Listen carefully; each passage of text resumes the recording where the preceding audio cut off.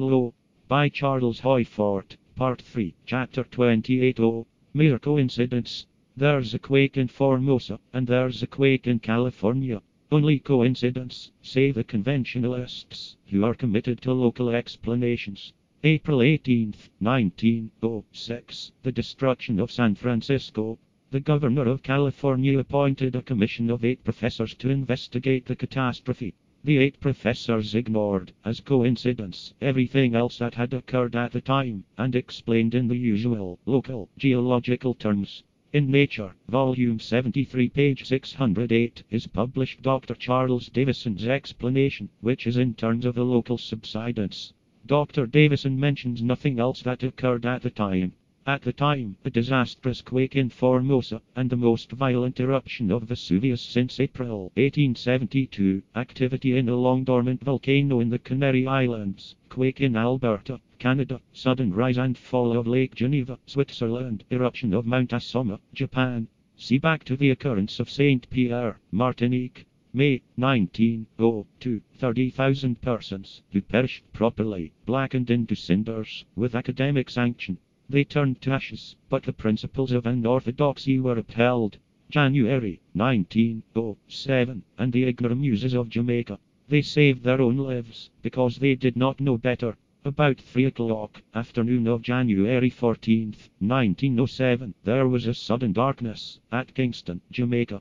People cried to one another that an earthquake was coming, and many of them ran to parks and other open spaces. The earthquake came, the people who ran to the open spaces lived, but a thousand of the others were killed by falling houses. A web that was spun of dogmas caught a thousand victims.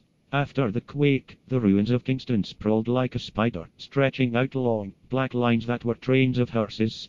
But all who ran to the parks, believing that appearances in the sky did mean that catastrophe upon earth was coming, lived. I have given data for thinking that a de Ballore, or any other conventionalist, would ridicule these people for so interpreting a mere coincidence.